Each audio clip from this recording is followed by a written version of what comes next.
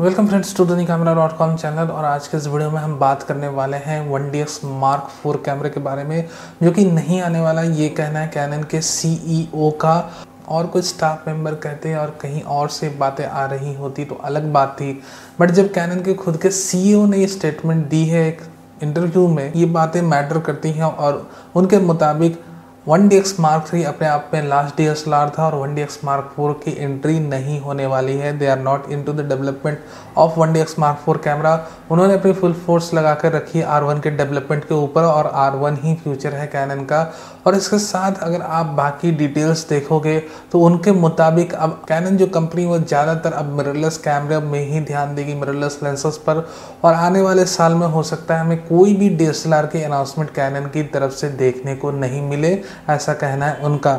So this is all about one X mark four और other D S so जितने भी उम्मीद लगा के बैठे होंगे या हो सकता है कि वो वेट करें कि आफ्टर आर वन हो सकता है one D X mark four आए तो उसे कैनन ने सिरे से खारिज करा कि भैया अब one D X mark four नहीं आएगा। काफ़ी अच्छी स्ट्रेटजी है कैनन की कि पहले ही नकार देना कि अब कोई भी D S L R pro D S L R या flagship D S L R camera नहीं आने वाला है तो जो भी उनकी सेल्स परसेंटेज है या प्री ऑर्डर परसेंटेज है, वो आर वन की जो अनाउंसमेंट डेवलपमेंट अनाउंसमेंट होगी, फिर फुल फ्लेजेंट अनाउंसमेंट होगी 2022 में, वो काफ़ी ज़्यादा अप स्केल और बढ़ जाएगी।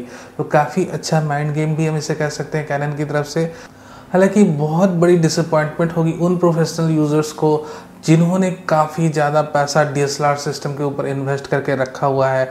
We do have adapters but adapters आपका कब तक साथ देंगे?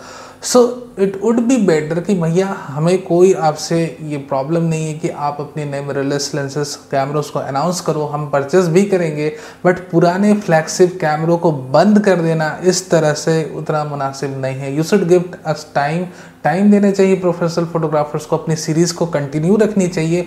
फोर्सफुल माइग्रेशन सही नहीं है। मेरी जो ओपिनियन है, मेरी जो सजेशन उसके हिसाब से जो माइग्रेट करना चाहे, उनके लिए रास्ते खुले रहना चाहिए बट जो माइग्रेट नहीं करना चाहिए, उनके लिए उनको अपने सीरीज़ को एक्टिव रखना चाहिए, क्योंकि उन्होंने काफ़ी ज़्यादा इन्वेस्टमेंट करके रखा है अपनी लेंसेस एसेसरीज़ के ऊपर, और कई लोग डिसअपॉइंट होकर ये भी हो सकता है कि कैनन को छोड़ के किसी और company for example Z9 purchase कर लें या अल्फ़ा ए वन परचेस कर लें आई डोंट नो बट हाँ this is not a good step to just end this series in one instance at least one D X mark four लाते जिन्हें लेना हो लें जिन्हें ना लेना ले, ना ले ये यूज़र्स के ऊपर होना चाहिए। हालाँकि कैनन की अपनी सेल्स स्ट्रेटेजी अपनी सोच है। So this was all about the R one हाँ इससे रिलेटेड कोई एक क्वेश्चन आप पूछ सकते हो कि क्या two hundred D mark three camera आएगा अब या न आएगा? जब उन्होंने अपने one D X mark four को ही रद्द कर दिया then two hundred D mark three की क्या भी मेरे दोस्त? सो यहाँ पर तो वेट भी करना उतना मुनासिब नहीं रहेगा two hundred D mark three कैमरे का, जब फ्लैगशिप कैमरे के साथ ये सारी चीज़ें हो रही है। और ये सारी चीज़ें शुरू हुई थी 2018 में, मैंने कई सारे अपने वीडियोस में आपको बता भी रखा है कि 2018 में कैनन ने डी एस कैनबलाइजेशन की अनऑफिशियल शुरुआत करी थी और धीरे धीरे आज की एक डेट है जब उनके सी ने खुद बाहर आकर कहा कि भैया, अब तो one D X mark four नहीं आने वाला, अब फुल कॉन्सेंट्रेट हो जाओ आर वन की अनाउंसमेंट के ऊपर। आपको क्या लगता है कि इस तरह से one D X mark four को एंड कर देना नहीं अनाउंस करना एक सही स्टेप है या उन्हें अनाउंस करना चाहिए था? ये सारे आ, ये सारी बातें आप हमसे शेयर कर सकते हो कमेंट सेक्शन के ऊपर। कोई क्वेश्चन हो तो आप पूछ भी सकते हो। वीडियो देखने के लिए बहुत बहुत धन्यवाद। वीडियो अच्छा लगा हो तो लाइक करना नहीं भूलना। नहीं हो तो सब्सक्राइब भी कर लो for future updates live news thank you very very much for watching this video